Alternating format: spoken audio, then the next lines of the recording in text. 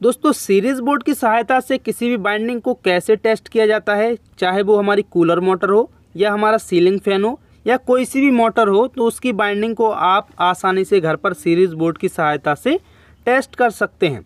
ये बिल्कुल ही सिंपल होता है, बहुत ही आसान होता है। आप बिल्कुल ईजिली आप घर पर ही टेस्ट कर सकते हैं। तो इसको कैसे टेस्ट करना होता है, वो हम आपको इस वीडियो में प्रैक्टिकली करके बताने वाले हैं। तो देखिए, ये हमारे तीनों बाइंडिंग के वायर हैं, जिसमें एक स्टार्टिंग एक रनिंग और एक हमारा कॉमन वायर होगा। और ये हमारा सीरीज़ बोर्ड है और सीरीज़ बोर्ड से आप इसको टेस्ट कर सकते हैं। तो देखिए, ये हमारे सीरीज़ बोर्ड के टू लीड हैं। इसको लेना होगा और हमारी जो सीरीज़ लैंप है, उसको आप ऑन कर लेंगे इस स्विच से। और आप एक बार ये जो वायर है हमारे, इसको आप उसमें टच करेंगे तो हमारी सीरीज़ लैंप है, वो ग्लो होती है। और इससे आप इसको टेस्ट कर सकते हैं। तो देखिए, यहाँ पर आप जो हमारी बाइंडिंग है, उसके एक एक वायर में आपको इसको लीड को लगाना होगा।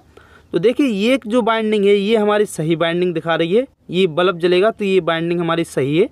और यहाँ पर देखिए, दूसरे वायर में हम जब लगा रहे हैं तो वो बाइंडिंग जो वायर है, वो लगाने के बाद ये लैंप है, वो चालू नहीं हो रही है। इसका मतलब वो वाली बाइंडिंग है, वो ओपन है।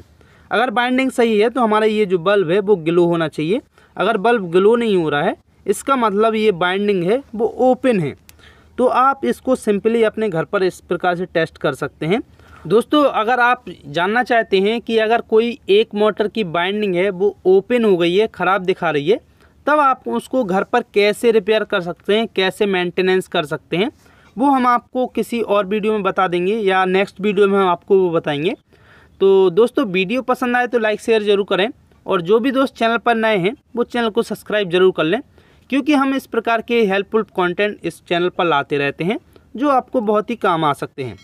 तो चलिए दोस्तों, आज के लिए इतना ही, और मिलते हैं आपसे इसी प्रकार की किसी और वीडियो में।